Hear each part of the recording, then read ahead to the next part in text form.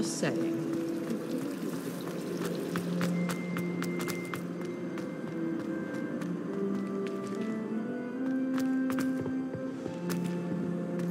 Shouldn't there be Aurors or someone from the ministry guarding the school after the incident in Hogsmeade? Professor Black would never allow that. It would make him look completely incompetent, which he is. I saw an Auror that on Professor Sharp's desk. I bet he knows more than he's letting on about the Goblin Rebellion.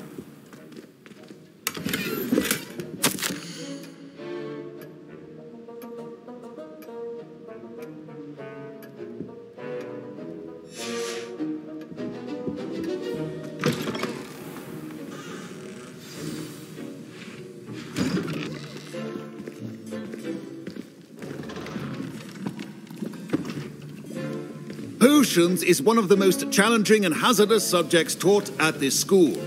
As fifth years, you will be required to reach new heights of both discipline and intellect. You will begin this term by brewing a Wiggenweld potion. Mr. Thakkar, can you tell us why this particular potion might come in handy? Yes, Professor Sharp. The Wiggenweld potion can be used to sterilize and even heal a variety of injuries. It can heal some injuries, but not all. Points for Ravenclaw. Before today's class is completed, each of you will have brewed a Wiggenweld potion of your own. You never know when you might need it. Please begin.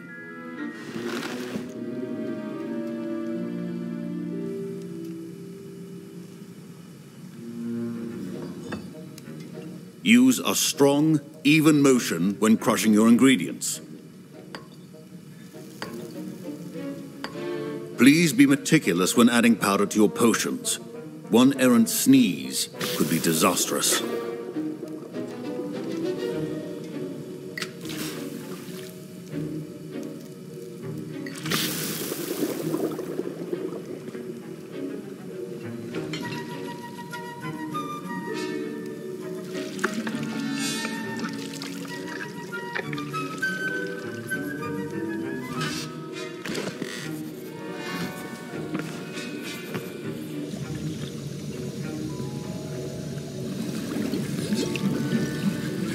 I see most of you have not forgotten how to stir.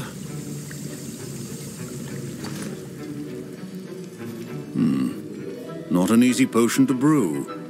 Well done. And from what I hear of your recent exploits in Hogsmeade, you'd also do well to practice brewing the defensive Edurus potion. Professor Weasley had you acquire the recipe from J. Pippin's, correct? Yes, sir. Good. For the moment, you can find the ingredients you need in my office. But in the future, you'll be expected to provide your own ingredients. Some can be harvested from the plants you grow in your herbology class, and rarer ones can be purchased. Others, however, may be harder to obtain, and will require you to be a bit more resourceful. Come and see me when you've finished brewing, and we'll see if it was skill or luck the first time around.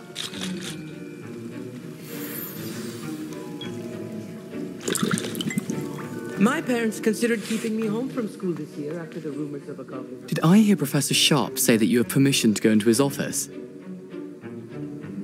He did say that. He wants me to get more ingredients to brew another potion. Brilliant!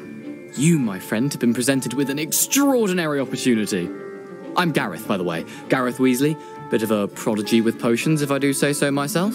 Pleasure to meet you. Wait, are you related to Professor Weasley? She's my aunt.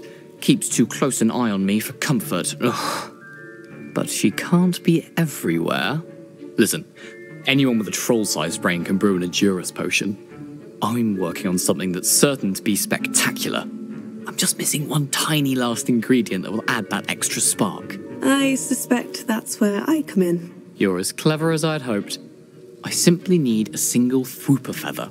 As you'll already be in Sharp's office with his permission, perhaps you could grab it for me. I'll get you the Fwooper feather, as long as you're certain Sharp won't miss it. I assure you he won't. Fwooper feathers aren't that valuable. Wait until you see what I'm brewing. Hurry back to me when you have the feather.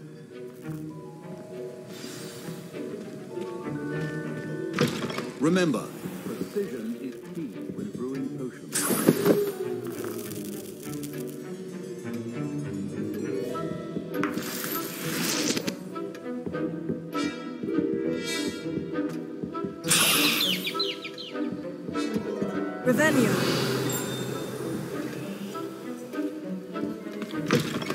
prepared witch or wizard always has a few potions on hand. Here's the Fwooper feather you wanted. Brilliant! Thank you! This is going to take a moment to brew. You should get back to brewing your Edurus potion, and I'll tell you when this concoction's finished. Proficiency in potions are two things that cannot be rushed. Have patience and be thorough.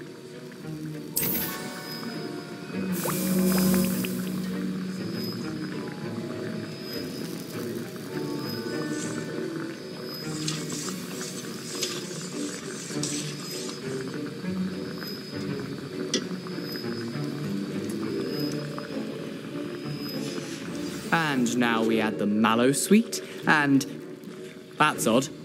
What's happening? Wait, it's not supposed to. Ah! Get it! Dragonstar! What happened? Well done, Garreth. What now, Mr. Weasley? Sorry, Professor. That'll be points from Gryffindor. Again. Mr. Weasley did not do this on his own. His accomplice will answer to me as well.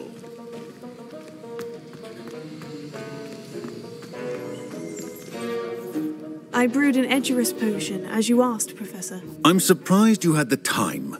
You seemed rather busy helping Mr. Weasley brew chaos. I'm sorry, Professor. I was merely trying to help a friend. Taking responsibility for one's actions does go a long way with me. I shall assume that you've learnt a lesson. As for the work you did today at your own cauldron, I will say you've done well.